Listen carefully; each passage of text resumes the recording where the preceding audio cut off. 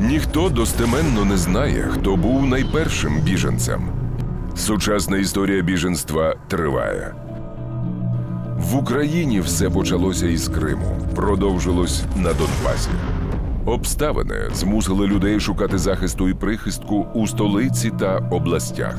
Вони стали вигнанцями у власній батьківщині. Украина – это люди, которые верят в нее до сих пор. Документальний фільм Вигнанці 19 листопада о 22.15 на першому.